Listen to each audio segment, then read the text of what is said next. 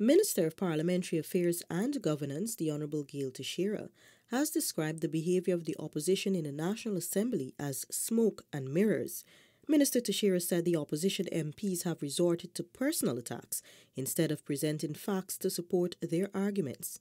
The minister addressed the matter during the DPI program, the Progress Report. The vitriol and the what I keep calling the smoke and mirrors attack you know, that as an MP you're expected, what are you there for? You're not there because you're good looks. You're not there because you're young or you're old. You're there because you came on a party's list, your party won so many seats, and your party selected you to do the work. You are there to represent the people in the best way you know how, which means you have homework to do. You got to do your homework. If you're talking about a bill, go and do your homework and represent the best that you know how for the people. Minister Teixeira said she has been a member of parliament since 1992, and while there have been many heated debates, personal attacks are unacceptable.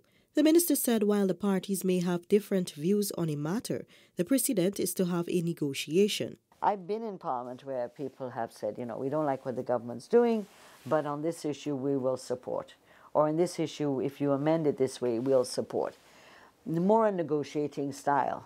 Um, that's not what's happening now. This is just you're trying to have discussion on issues and it's smoke and mirrors. It's like a magician's thing, you know, it's drop smoke and mirrors, so you're deflecting all over the place, but you're not dealing with the real issue. Minister Teixeira noted that the opposition carries as much responsibility as the government side to behave in a constructive manner. It's unfortunate for the country. It's not unfortunate for us. It's going to be unfortunate for the country because some of the issues that we can reach agreement on, that it, they've never been uh, controversial.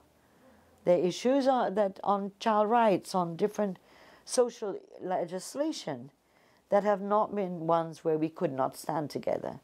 That these stand the risk of suddenly become this battlefield where um, you, you have no proper arguments, but you're having these, these um, accusations uh, on people's personal lives. Nevertheless, the minister said government will not allow the actions of the opposition to obstruct its agenda in the National Assembly.